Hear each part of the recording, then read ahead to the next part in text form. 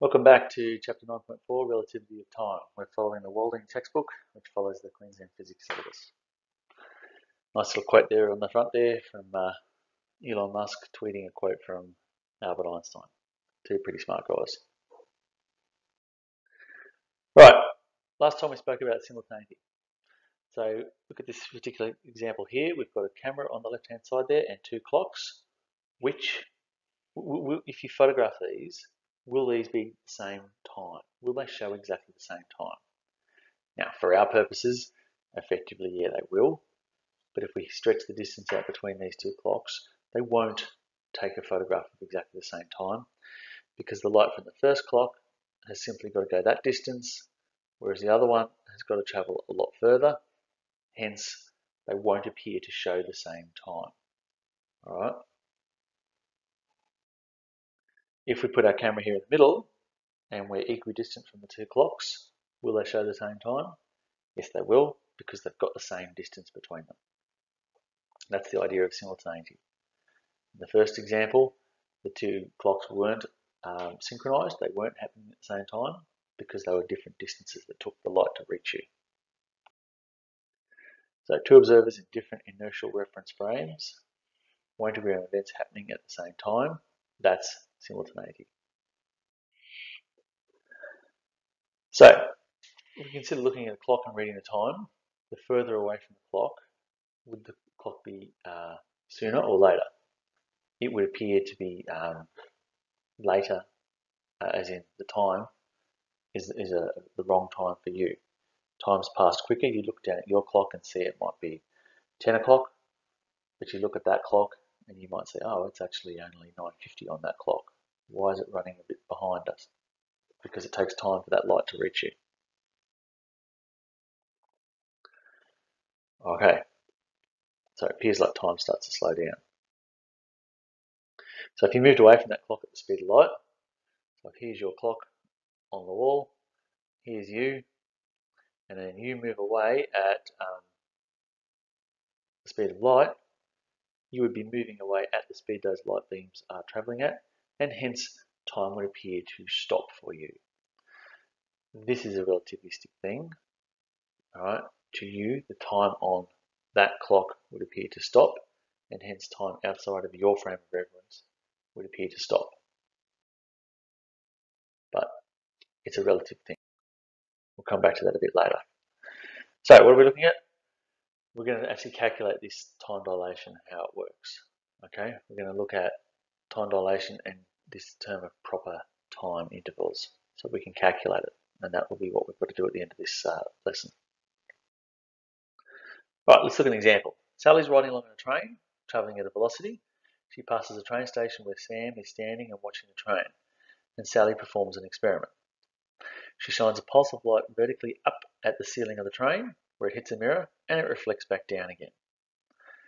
There is the emission of the light and the return of the light. Sally will see it and Sam will see it, but they are not in the same inertial reference frame, so they will see different things. So, let's set the scene first, a few little definitions for us.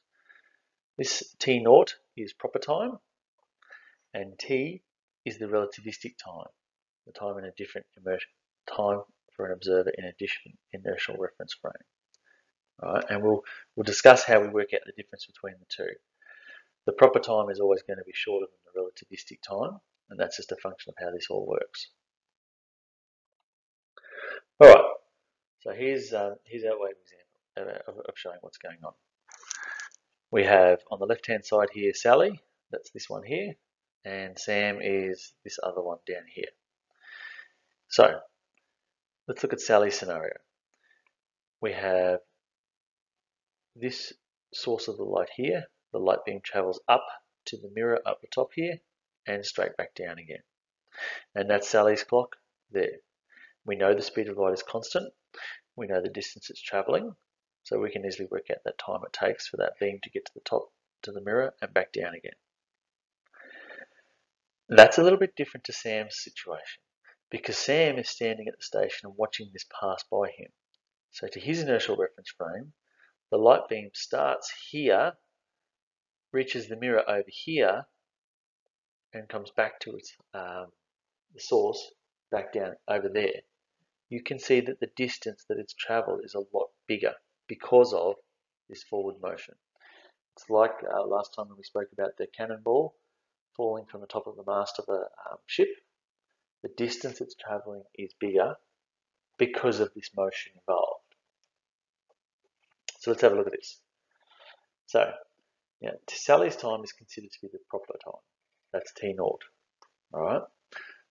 You can kind of think of it as because if Sally has a clock here at the source of the light, it's the same clock. The clock doesn't necessarily appear to move or anything like that. The, the light beam travels away and comes back to it. All right, so that would be the proper time.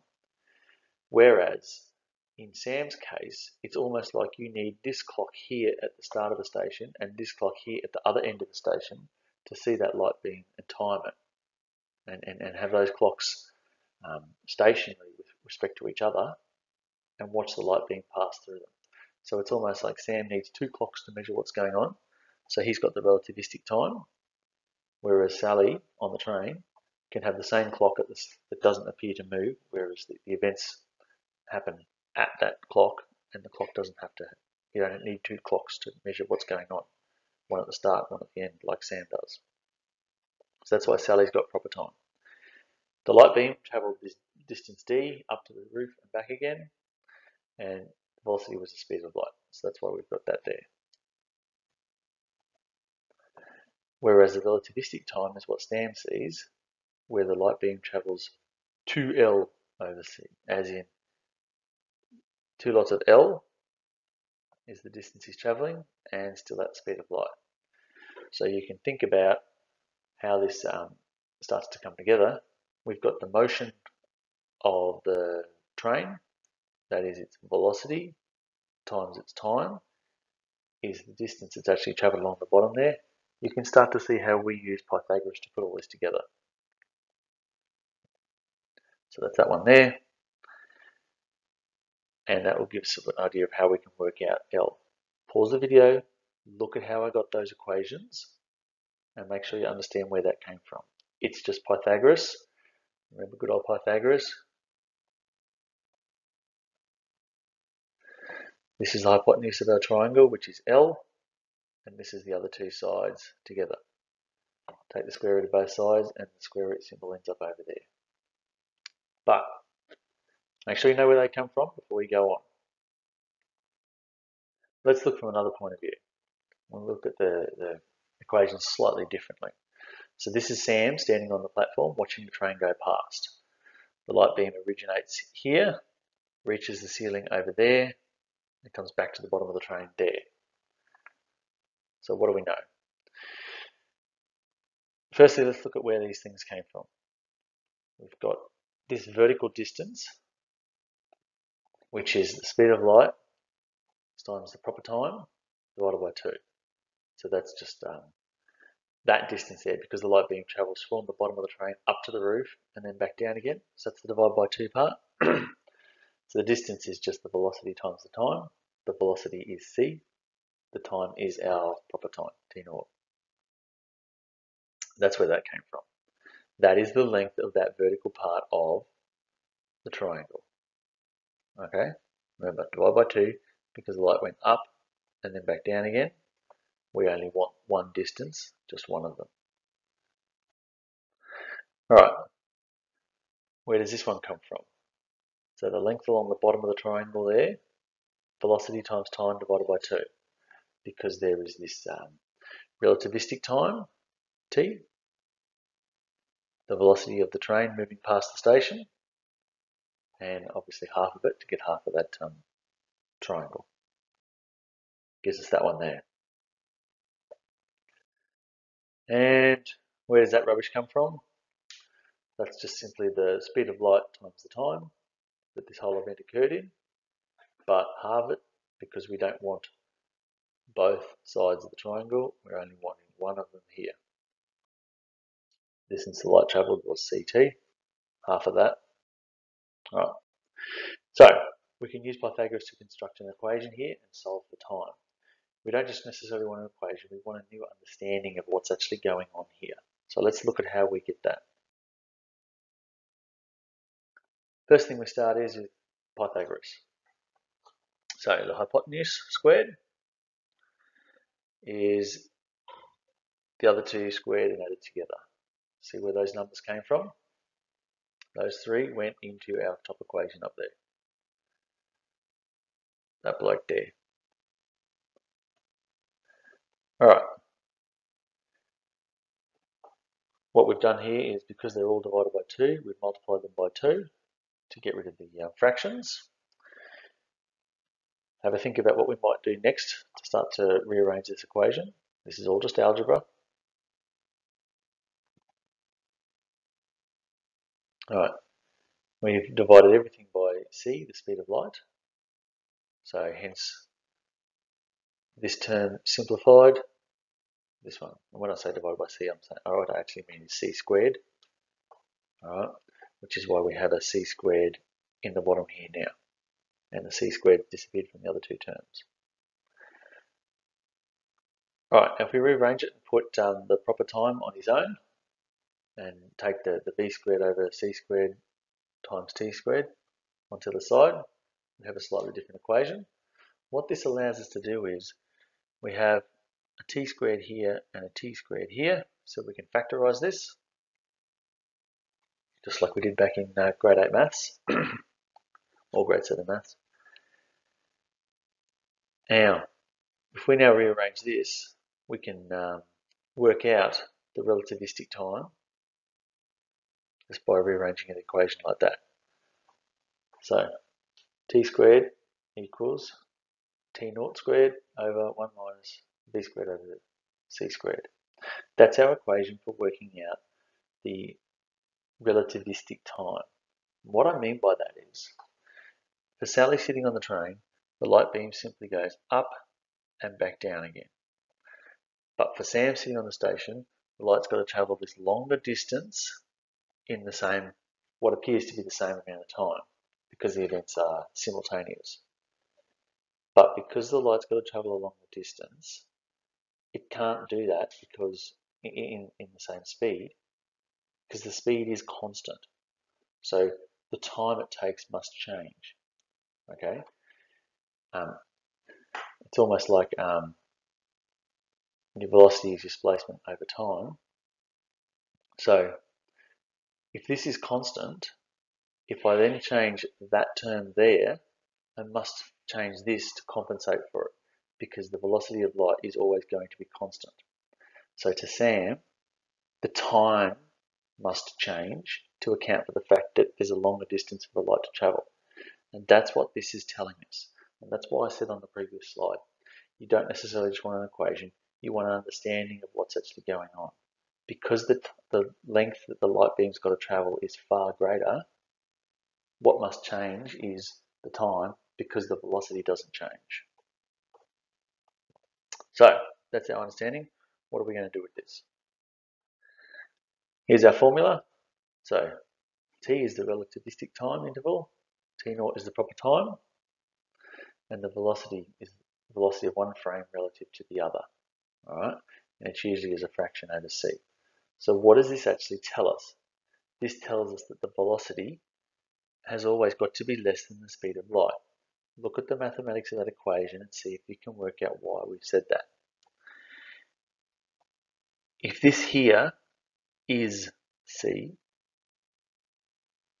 c squared divided by c squared, it's going to be 1. 1 minus 1 is going to be 0. And all of a sudden our equation starts to become meaningless. The square root of 0, the time divided by the square root of 0, doesn't make sense. So that's telling us that your velocity must always be less than the speed of light. It cannot ever be the speed of light because the equation told us that. And that's what we've derived. But what this also tells us is that the relativistic time is always going to be greater than the proper time.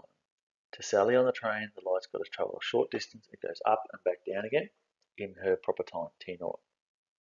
But to Sam on the station, it's got to travel a longer distance.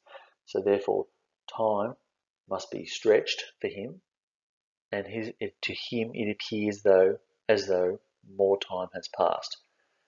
That's what that tells us there. The relativistic time is going to be greater than the proper time to account for the fact that the light's got to travel a further distance. Okay? Denominator is always less than 1. All right, to make that work mathematically, the effect of this is really, really small until your velocity approaches c. That's what that little arrow means. As the velocity approaches the speed of light, that's when this starts to have an effect. You can think of this as moving clocks always run slow, but that's sort of a bit of a, you need to consider how you actually say that. Okay, because it would appear to Sam that Sally's clock is moving past him at the station, but that's not really what's going on. That's why Bart's a bit worried there. Be careful of that interpretation. There's a big asterisk I put on that. The moving clocks always run slow. You have to understand which clock is actually the one that is experiencing the relativistic time. And usually that's the one that needs two clocks instead of one, like I mentioned before. I'll come back to that point. And this is what Einstein started thinking about. This is the actual clock that he saw um, going home in um, Bern in Switzerland from the Swiss Patent Office. And it's like he was sitting on the, the tram one day going home watching that clock. And he thought, if I sit, sit here still and look at that clock, I can see the time pass. But as I move away, I'm moving away from those light beams coming off that clock. And as I approach the speed of light, I would see that that clock appears to slow down because it's taking longer and longer periods of time for the light to reach me. But what happens if you look down at your own watch? If you look at your own watch, you would still see it as running as running at normal time. So in your frame of reference inside the tram, your time is still passing normally. But you're looking outside of that clock outside you and it appears to be running slow. Alright? So the question here is which frame is in motion and how do you describe motion? And that's what I was talking about, about using one clock versus two clocks. I'll come back to that in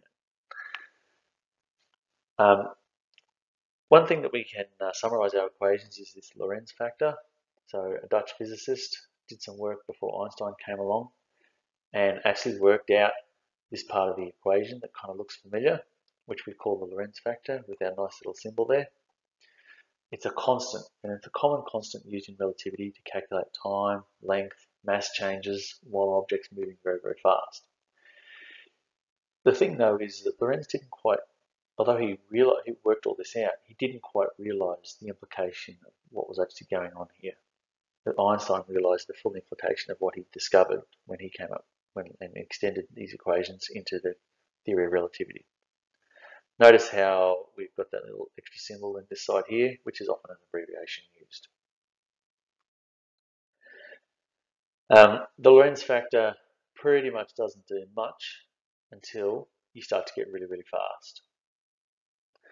At low speeds, so less than 0.6 the speed of light, there isn't much here. You can see our graph here, it's fairly flat to that point, and at that point it really starts to increase. And that's why we don't notice things like time dilation at our everyday speeds, because we don't travel 0.6 the speed of light. We travel way, way less than that. And there's a nice little table of some different um, speeds. So your normal car at 60 k's an hour, there really is nothing involved here. Um, even this space probe traveling at, what is that, 343,000 kilometers an hour, the Lorentz factor is still very, very small.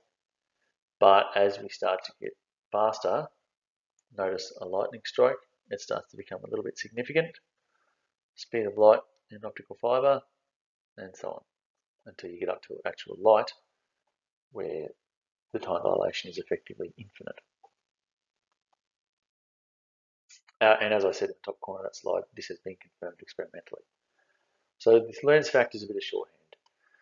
This bit here came out of our equation for time dilation, hence you can write it either way. It doesn't really matter which way you do it, it's just one way of doing it. But all our formulas that we'll look at for this section have that Lorentz factor in there somewhere, which is 1 over root 1 minus v squared over c squared. So let's think about this um, which one's doing the proper time and which one's doing the relativistic time. We've got a car here that starts, there's a clock on the car, and then there's a clock outside the car timing its motion. Here's the start point here, and the car moves along to the finish point here. And it's almost like the start and finish point pass the clock in the car, whereas outside the car, it's like you'd need a clock here at the start point and a clock here at the finish point. Hence, you need two clocks. So this is the dilated time or relativistic time. The clock in the car is experiencing proper time. It's the one clock, the finish, start and finish point past that clock, much like Sally in the train has one clock in the train, the light beam goes up and back to the clock. That is proper time. Whereas the outside that frame of reference, you need a clock at the start and at the end, like Sam did on the station, like this car on the bench. You need two clocks, one at the start, one at the end, effectively, to, to measure the time. That's how you know which one's proper time, which one's relativistic time. Let's look at an example here. Very fast train, travelling at 0.8 the speed of light, goes to a really long railway station. And a woman on board the train measures the time interval to go from one end of the station to the other, and she measures it at one second. If you're standing on the platform, what is your time interval there?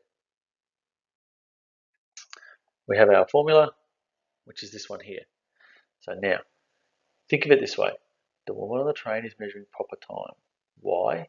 Because in her frame of reference, the start and finish events, that's the start of the platform and the end of the platform, has one clock and both of those things pass that one clock. Whereas the person on that really, really, really long platform would effectively need two clocks, one at the start of the platform and one at the end of the platform and have them both synchronized.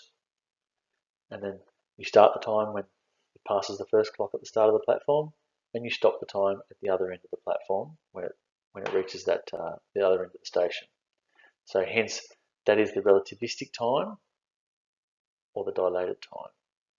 Dilated means it's relativistic, which means it's dilated, means it's going to be bigger or longer than proper time. So let's put in our numbers.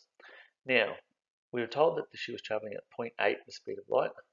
That goes in there, which we've written there, and the c's are going to cancel.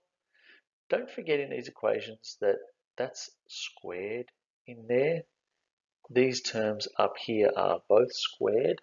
Don't forget that, it's a common error to make. When you plug that into your calculator, you get 1.7 seconds. As the time of recording this, I think it said 1.7 C, but it's 1.7 seconds. What does that mean? That means the woman sitting on the train takes her one second to pass from one end of the station to the other at 0.8 the speed of light. The person standing on the station will say that it took 1.7 seconds for the train to pass. That's the idea of simultaneity. That's the idea of relativity. The time period for these events is different. The woman's passing on the train. Her reference frame will experience time slower. It's still the same period of time if you could stand outside all of this and look at it.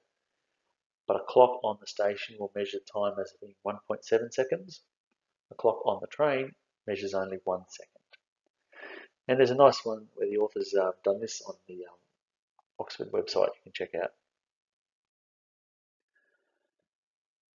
So mean lifetime is something that we looked at before when we looked at 9.1 and muons, where we had um, different time intervals for objects at rest and objects in motion. And in that particular scenario, we sort of looked at how the muons decayed as they entered our Earth's atmosphere and how they the distance and time and so on were different for the, the, the muon traveling at high speed or us at rest. So you can go back and check that one out. Okay, determine the mean lifetime of a pion, which is an elementary particle we'll look at later in um, Unit 4. So it's traveling at 0.669 the speed of light with respect to the laboratory. Its mean lifetime at rest is 3.5 by 10 to the 8 seconds. So what we want to look at is how these things are actually going to decay. We've still got the one formula. That one hasn't changed. So what we're asking for is the relativistic time interval because it's almost like at rest, like the woman in the train was at rest, the station was moving past her. So the, the relativistic time is what we want to find. You're given the proper time, which is the muon at rest. Um, now, and we're given the speed as well, the velocity of the, the particle. So we've got those two things which we simply plug into the equation. We're really only putting two things into the equation. Notice working in C is handy because we can just cross out the C's on the top and bottom there. All right, don't forget the squared, easy mistake to make. Plug all that into your calculator and we get 4.71 by 10 to the negative 8 seconds is the relativistic time, whereas its mean lifetime at rest, its proper time, so to speak, is 3.5 by 10 to the negative 8. So it basically has a dilated time because of its high speed. So what we mean by that is if we're sitting here in the laboratory and we record how long this pion exists before it decays, it's 3.5 by 10 to the negative 8. But if it's travelling at 6.69, it will still appear to decay at 3.5 by 10 to the negative 8 seconds to its frame of reference, its proper time. But to us in the laboratory, watching it move that fast, it'll actually last for 4.71 by 10 to the negative 8 seconds. So it appears to last longer for us, much like our um, muon example back in 9.1. Might pay to go back and have a look over that example now that we've sort of discussed it from this point of view. Right, so check your understanding questions. Let's start to wrap this up. Which of the following is a correct consequence of the speed of light in a vacuum being the same for all observers? Have a read of those, see if you know the answers.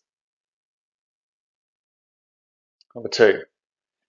Now, while some of those other ones may be true, such as this sort of thing here, it asked which is a consequence of the speed of light being the same, and that's this bloke here. A clock moving relative to an observer will tick slower than a clock that is at rest in the, observer's own frame of reference. Something that was moving at speed appears to tick slower, like the train example before, you would think that 1.7 seconds has gone past, but you watch that clock in the same 1.7 seconds and it's only ticked one second. So time has passed slower for that frame of reference. All right, a few examples here. Can you correct these statements? Pause the video, read them, and have a look at the answers as you go.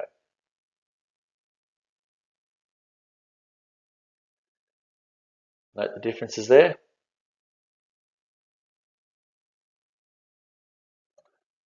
The laws of physics are the same in all inertial reference frame, in all inertial frames of reference, and the relation between the two events is assumed to have happened at the same time. Is that true? Nope.